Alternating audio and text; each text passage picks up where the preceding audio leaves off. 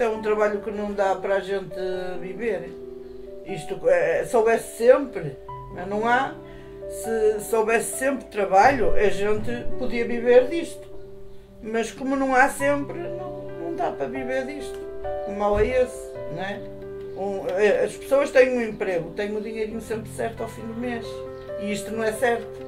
Gosto muito de fazer isto. Adoro fazer. Eu chamo Dalila Pinto. Tenho 59 anos.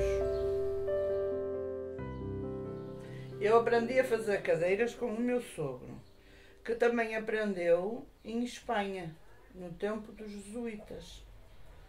Veio depois para Portugal, eles foram lá criados. Eu, meu sogro foi lá criado com os, meus, com os, com os pais dele, foram para lá de caseiros, e aprendeu a fazer cadeiras de palhinha. E, e depois eu casei e gostei e aprendi também com ele a fazer cadeiras de palhinha.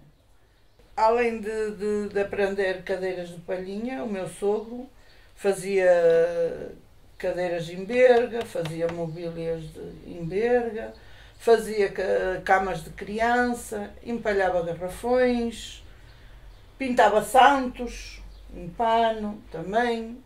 Ele tinha umas mãos, umas mãos de ouro, meu sogro.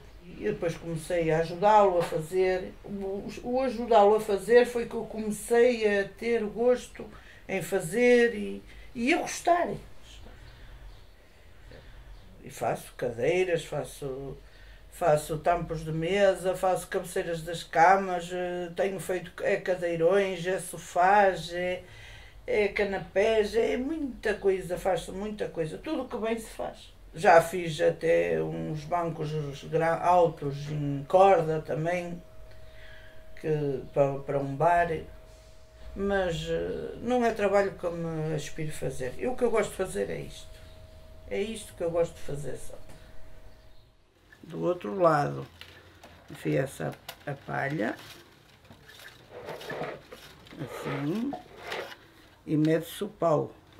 E agora vai-se buscar a agulha outra vez e tece-se.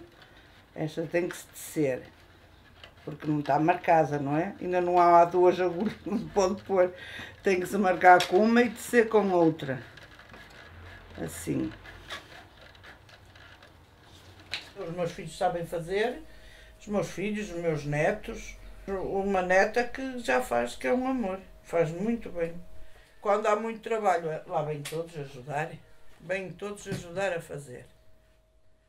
Isto é um isto.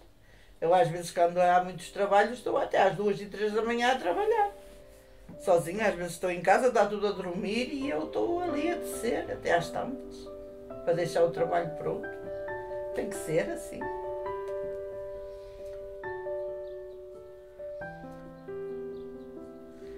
Não se pode. Isto é mais o gosto que a gente tem por fazer isto. Porque se for fazer contas a tudo, não ganha quase nada nisto.